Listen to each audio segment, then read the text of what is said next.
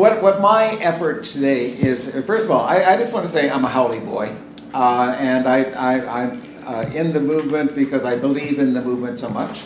And I think that we need non Hawaiians involved in the movement uh, right at the heart because this is not, as we have said again and again and again today, uh, a future nation for Hawaiians. This is a future nation for all of us, huh? And uh, uh, that, that, that means people like me, people like my wife who's Japanese, people like other people in here who are not Hawaiian at all. Okay, this guy over here. okay, I, want, I want to just give you some ideas about things that are happening that we don't hear anything about.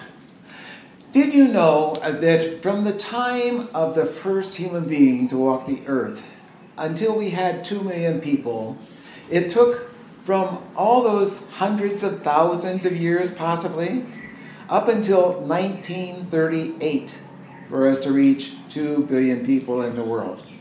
I was born in 39. Let me tell you that 40 years later, 20 years later, we had doubled that. Was that right, Dudley? No. Um, okay.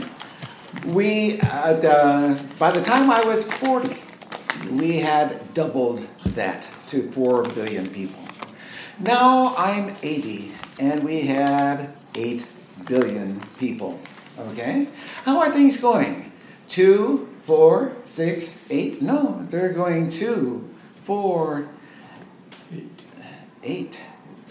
2, 4, 8, 16, 32, okay? It's, it's exponential. Nobody's paying attention to it.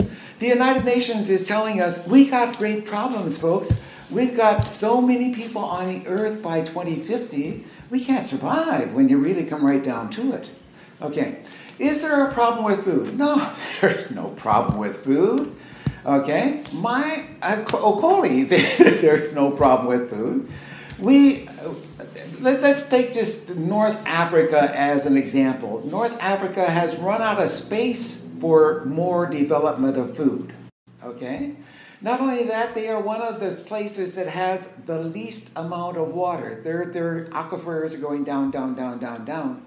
And what do we expect in that section of North Africa? We expect them to double their population by 2050. Double their population. What about the United States? The United States has 320 million people right now. By 2050, we expect that to be 450. 320 to 450. What are we saying?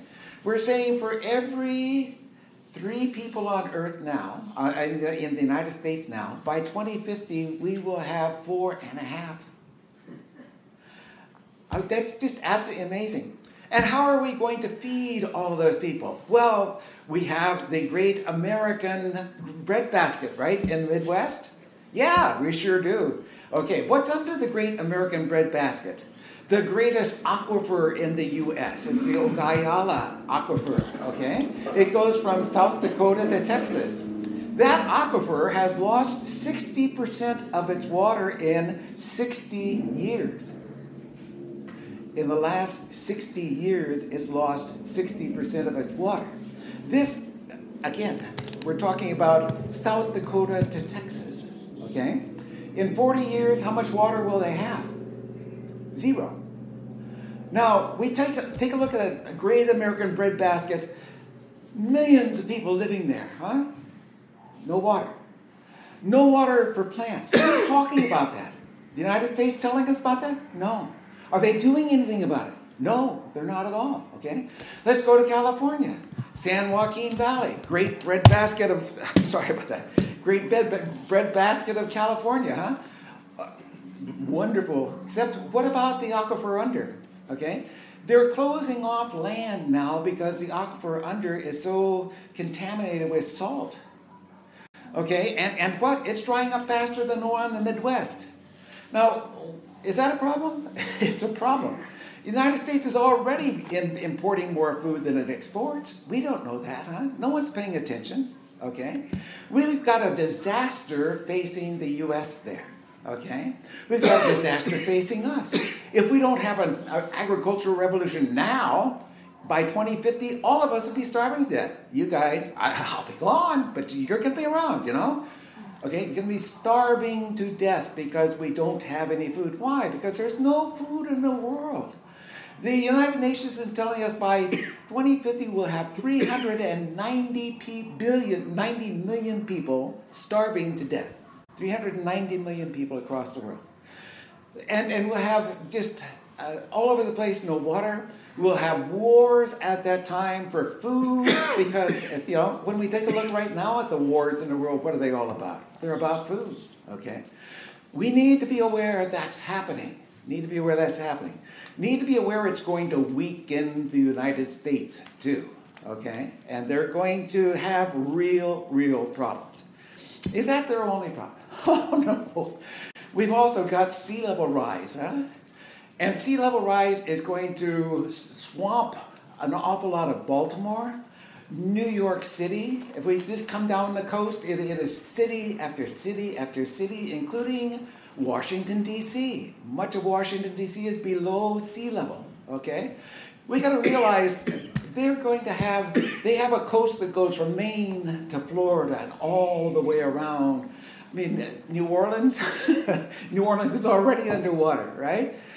In the next 50 years, if the water keeps rising as it is rising right now, eh, by, by 2050, the United States is going to have such astronomical expenses trying to save its cities, it's going to be in a terrible, disastrous state.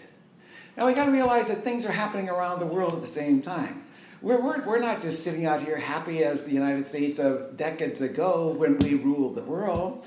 We've got China rising up as a great power about to overtake us. We've got India rising up as another great power.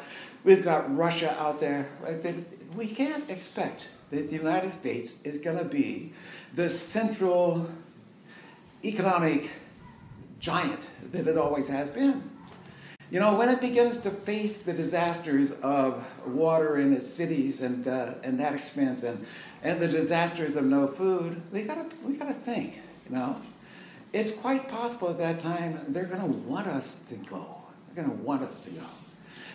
And so I just wanna say, we do have this idea of the Hawaii National Transitional Authority.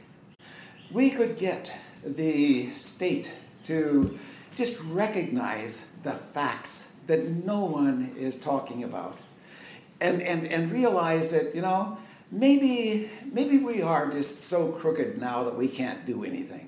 I mean, is, is that possible? It's true. I mean, you know, and person after person after person is saying it, and we're saying it in the newspapers. We're so corrupt, and our people are so corrupted, our, our, our city council and our legislators. Is it possible that we could just set up a, a little side Hawaiian project here called the Hawaii National Transitional Authority and give them some of these just phenomenal things to take over? And show themselves and let us grow over the next 30 years as a nation.